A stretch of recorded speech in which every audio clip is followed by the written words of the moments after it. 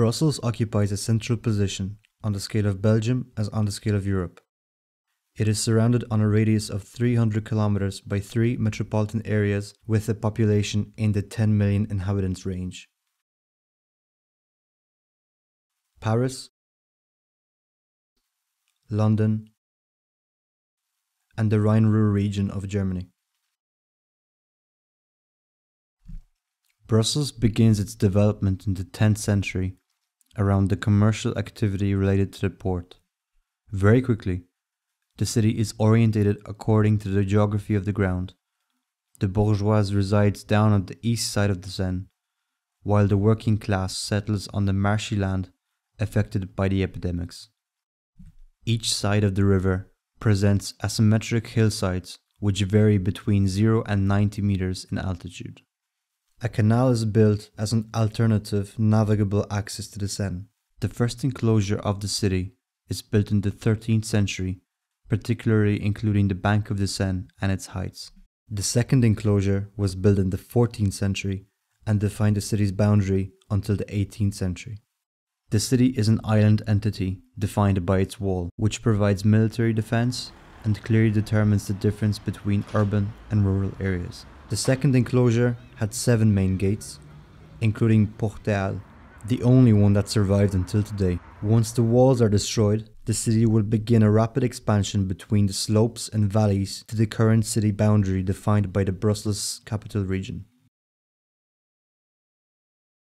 Brussels has developed an urban structure which is very particular to the northern European cities, a type of closed block referred to as îlot fermé. These are composed of several individual houses, built side by side, following the block's perimeter. One of the most important aspects of this urban typology is that all houses are built with specific long and narrow dimensions. They usually have a garden in the backyard, eaves, and two-sided roof. This typology represents the urban DNA of Brussels and has been for centuries at the basis of the development of the city. It is a heritage of the typical medieval urban structure. In the town surrounded by a ring of walls in the 14th century, blocks are built along narrow streets.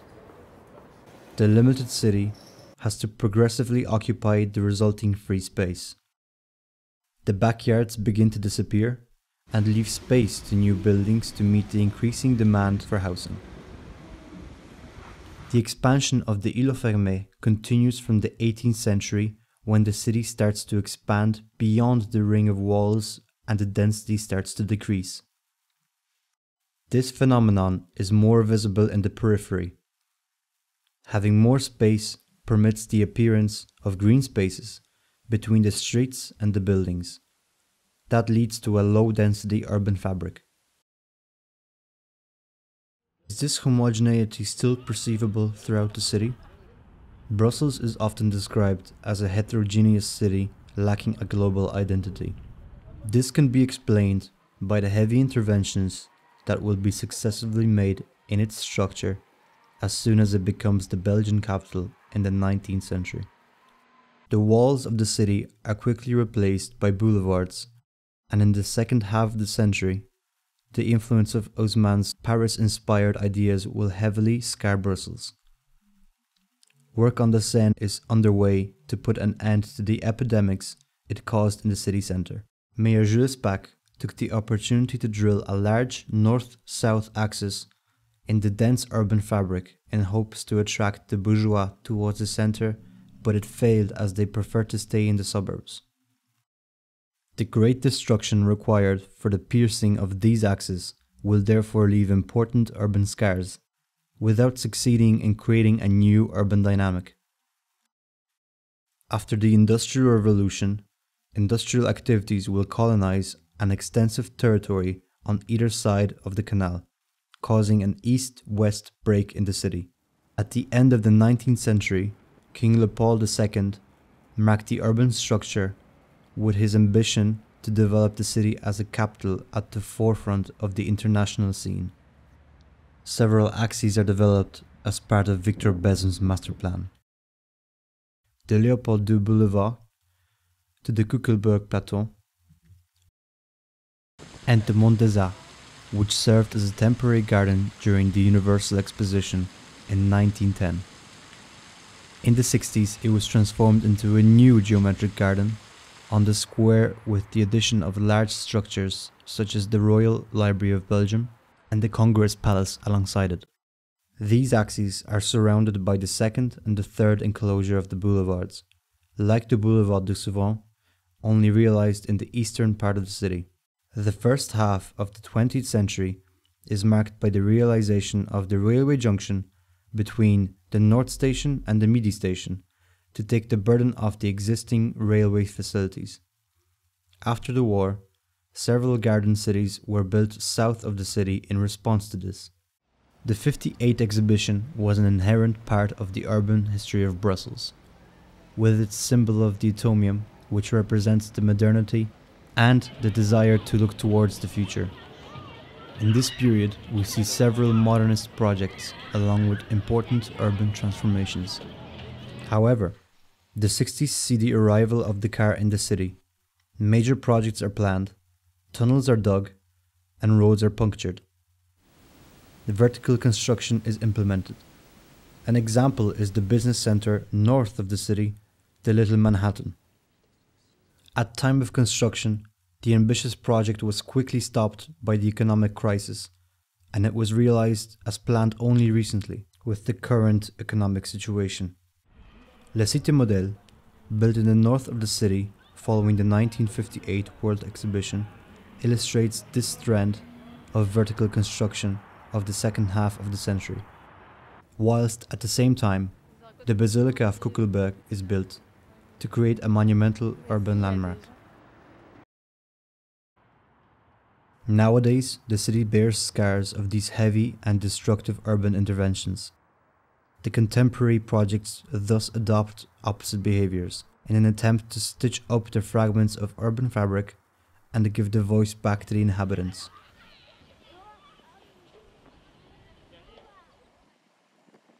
The tool of the neighborhood contracts, for example, allows the inhabitants to conceive small quality projects for their neighborhood that can directly provide the local needs. De Wiels is an example of transformation of an old industrial modernist building into a contemporary art museum. Built at the start of the 20th century, it became a landmark for its neighborhood with its Art Deco inspired style. Thanks to the help of the Brussels capital region, it has become one of the main cultural centers of the city. The aux project from MSA Architecture is an example of the links that the neighborhood contracts tool can activate between public spaces and infrastructure, as well as public spaces and territory. The project is a case of urban acupuncture, modifying the whole urban context with one punctual element. The competition for the requalification of the former soap factory into a housing complex was won by MDW Architects in 2005. Considered as an example of urban microsurgery, it improves the living environment of the area with less dense and more green zones. The project improves the collective life of the neighborhood in which it is inserted, at small and large scales. Brussels as a capital of Europe holds a wide variety of languages and cultures.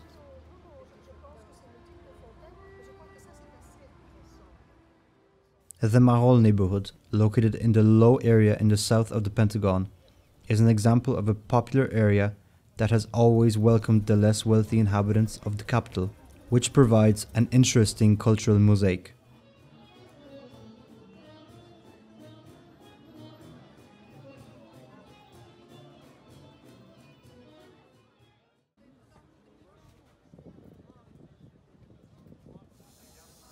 Brussels is the second greenest metropolis in Europe. Green spaces are connected by the green belt, offering a wide variety of landscapes inside the city. This project promotes the soft circulation. The aim is to create a biological corridor to reach the urban biodiversity. An important element is the swine forest. It maintains a wealth of fauna and flora, and it's also an important element of the landscape around Brussels.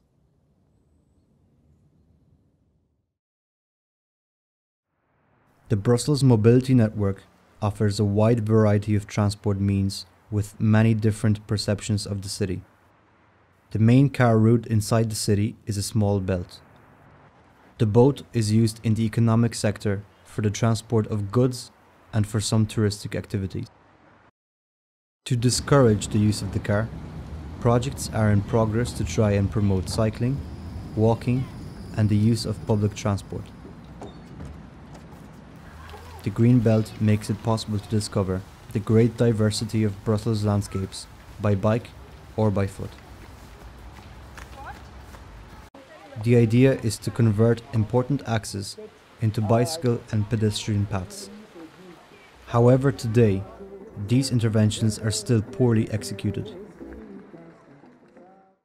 The canal area is part of the city that used to be mainly devoted to the industrial and commercial activity. Nowadays, with the economic activity mostly concentrated on the outskirts of the city, or even outsourced to other countries with cheap workforce, the canal area is behaving like a social and territorial limit which fragments the city between the east end and the west end. This zone is facing several different problematics for making this reconversion a success.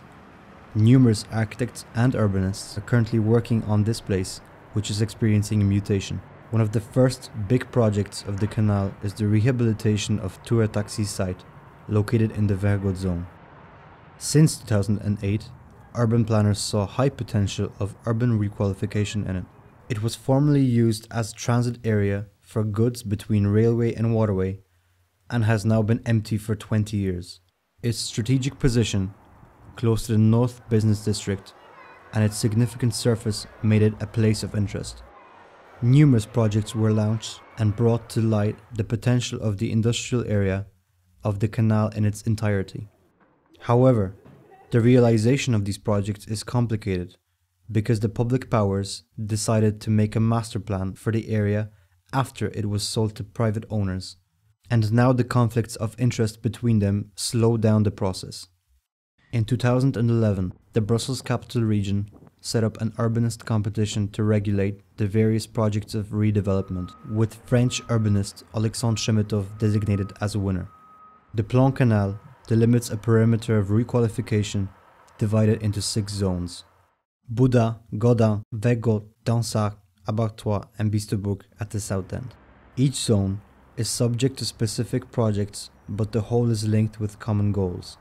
To reduce the shortage of housing in response to the constant increase of cities' population, to create employment locally, by maintaining industrial activity in order to compose an urban system with short circuit and improve transport infrastructures. These goals aim to promote a functional mix for the full territory of the canal and avoid urban divisions.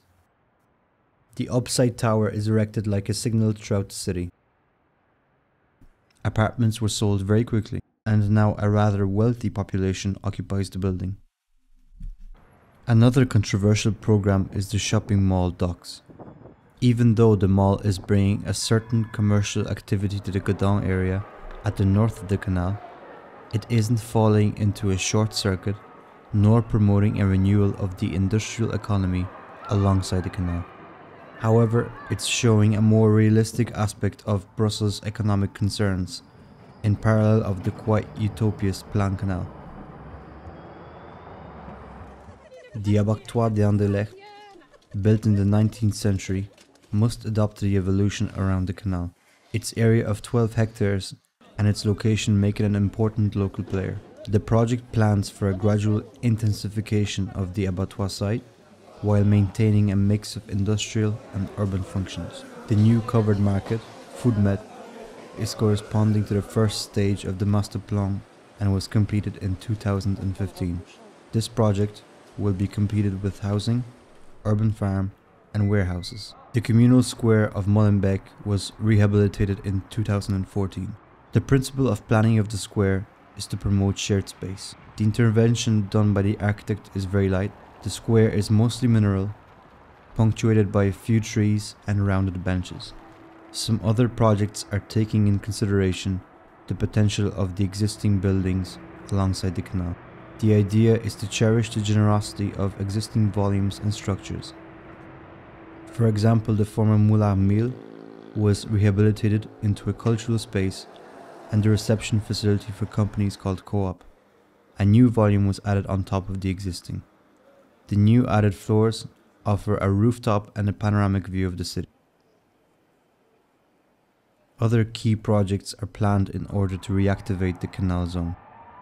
A competition was organized to turn the former Citroën garage into a cultural center and it attracted lots of big names in the architecture field. The city gate Ninove, at the middle of the canal, is also an important point for its potential to connect the east part and the west part of the city. The canal is undergoing lots of changes and is now in constant reform. The last area in the south of the Plan Canal, Biestebroeck, is currently in the focus of discussions of Brussels urbanistic reflections. The canal makes a bend there before widening considerably. The process of gentrification, which began in this district, is slow and still not very visible at this time. Indeed, the conflicts of the interest are frequent between urbanists, housing promoters, and private owners. The projects achieved in accordance with the requirements of Chemetoff plan are exceptions. The eastern shore is particularly marked by the industrial presence. The urban fabric of low density is composed of big volumes connected by a basic system of roads. This industrial area is bounded on one hand by the canal and on the other hand by the railroad which creates an urban fracture between Biestebroeck, Saint-Gilles and the forest districts. The question is posed, is there a solution to reconnect these territories while preserving the railroad infrastructure? The industries are less present on the west shore where the scale of the urban fabric decreases significantly. We can find there the Îlot Fermé typology and a vertical housing complex in the south area. The goal for the future is to integrate Biestebroeck into the Brussels urban fabric. Following the ideas of the Plan Canal, the main concern of the area would be to create a functional mixity, add harmoniously new housing complexes while keeping the presence of the small and heavy industries.